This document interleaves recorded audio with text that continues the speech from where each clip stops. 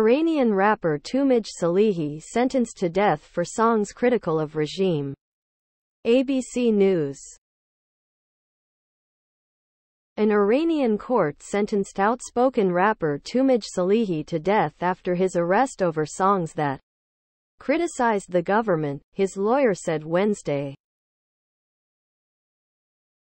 The primary court sentenced Toomaj Salehi to the harshest punishment, death, on the charge of Koru.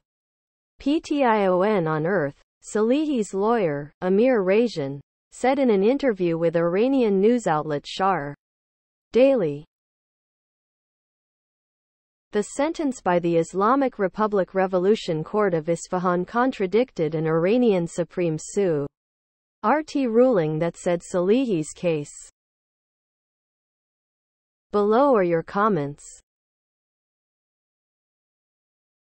Many American artists express their political views through their music.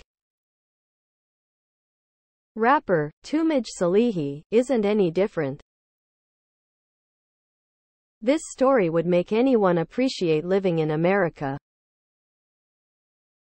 I hope this artist is exonerated. I have had many friend from Iran and they are so cool. I wish these people could just live their own lives in their native country.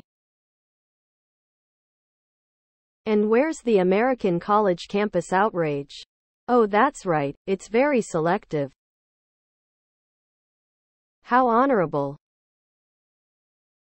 These are the lovely people these protesters are marching for. We should let them all move there and let them see for themselves how much their efforts really mean. Dot. Protesting in Iran is like protesting in Russia, or North Korea. Please subscribe to my channel. And if you like it, please thumbs up.